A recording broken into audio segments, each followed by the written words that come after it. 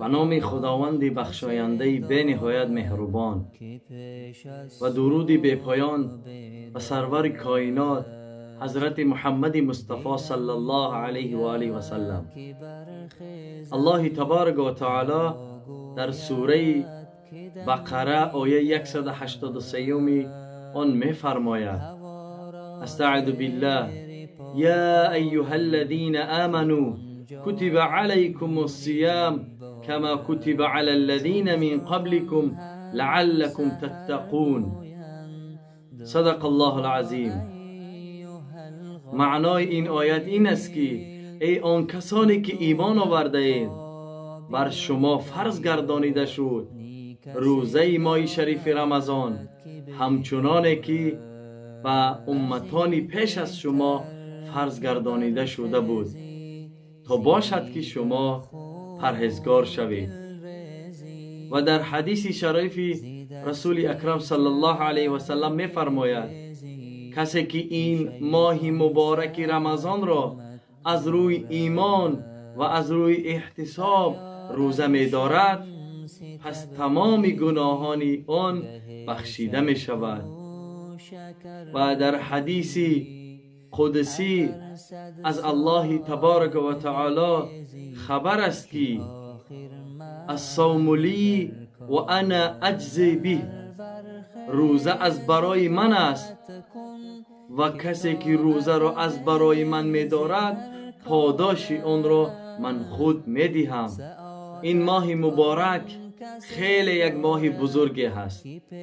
اگر ما از ده ها حدیث ها و آیت ها اینجا اگر که در این ماه و از فضیلت و بزرگی این ماه اینجا بیاریم حال هم نتوانیم وصف این ماه بزرگ را کرد.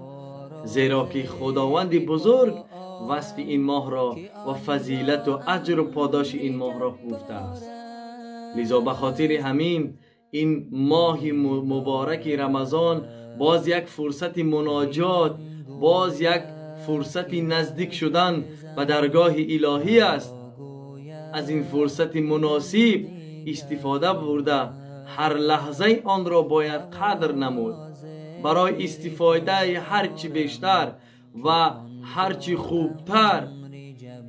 باید از روز اول تا آخر این روز را تا آخر این ماه را باید قدر نمود و به یک آمادگی کامل وارد شد. لذا به همین دوستان گرامی قدر این ماه هست که ماه فرصت جمع آوری خیلی ثوابی بزرگ. ماه فرصت سوزانیدن خیلی گناه های بزرگ. ماه هست که تمام انسان های در این ماه روزه داشته را خداوند دروازه مخصوصی در جنت برای آن داده است. این ماه ماه هست که یکایک ما را باز یک فرصت مناسب پیدا می کند به سوی خالق یکتامان. و این ماه ماه هست که ما را